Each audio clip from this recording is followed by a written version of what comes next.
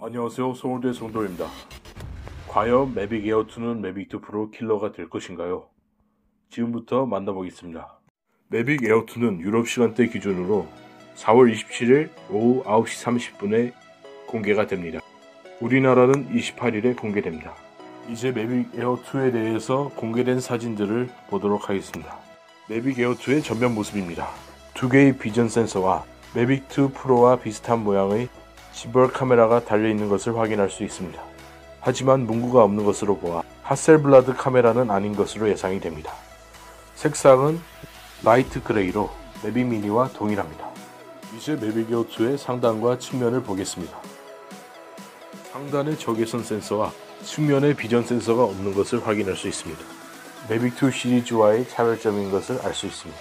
다음으로 매빅 에어2의 후면을 보도록 하겠습니다. 매빅 에어2의 후면은 매빅2 시리즈와 동일하게 비전 센서가 달려 있습니다.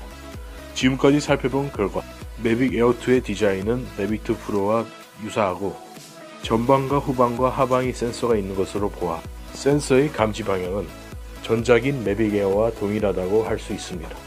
이제 매빅 에어2의 발열을 식히는 구조에 대해서 살펴보도록 하겠습니다. 매빅 에어2의 발열을 식히는 하단 구조를 살펴보면 옛날의 매빅 프로와 동일한 것을 알 수 있습니다. 바로 열을 구멍을 통해 방출시키는 모습을 볼 수 있습니다. 반면에 매빅 2 프로는 팬으로 열을 식히는 구조라 하단에 구멍이 없는 것을 알 수 있습니다. 그리고 매빅 2 프로가 하단에 LED 등이 두 개인 것과 다르게 매빅 에어 2는 한 개인 것을 알 수 있습니다. 이제 조종기에 대해서 살펴보도록 하겠습니다. 날렵한 매빅 2 시리즈 조종기와 다르게 투박한 모습을 보여줍니다. 조종기 크기도 제법 큽니다. 색상은 light gray고 조종기 상단에 거치대를 조종하여 모바일 기기들을 거치할 수 있는 것으로 보입니다.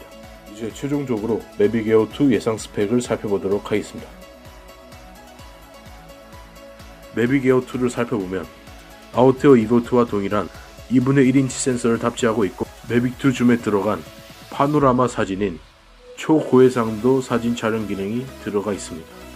그리고 이젠 기본이 된 4K 촬영이 가능하고 아직 프레임은 결정되지 않았지만 30프레임이나 60프레임이 예상이 됩니다. 최고 속력은 매빅 에어와 동일한 68.4km이고 비행 시간은 매빅2 시리즈보다 증가하여 34분의 비행이 가능합니다. 송수신 방식 및 수신 거리는 매빅2 시리즈와 동일합니다. 매빅 에어2의 가격이 매빅 에어와 매빅2 사이의 가격이어서 100만원 초반에서 100만원 중반 사이일 것으로 예상이 되는데 이 정도 스펙이라면 매빅2 시리즈가 매빅 에어2에게 자리를 내어줄 수도 있는 위기인데 거기에다가 대놓고 4K 60프레임으로 출시한다면 매빅2 프로가 팬텀4 프로를 팀킬한 것처럼 팀킬이 되지 않을까 추측해봅니다.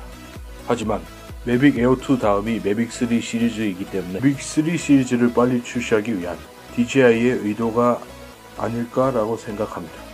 그래도 아직까진 크게 걱정하지 않으셔도 됩니다. 왜냐하면 이것은 어디까지나 예상 스펙이기 때문입니다.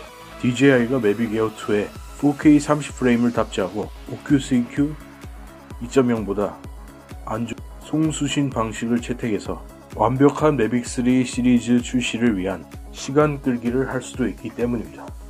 매빅2 프로를 구매하실 분들이나 처분하실 분들이 계신다면 4월 27일에 유럽에서 출시하는 매빅 에어2를 미리 보시고 결정하셔도 늦지 않을 것 같습니다.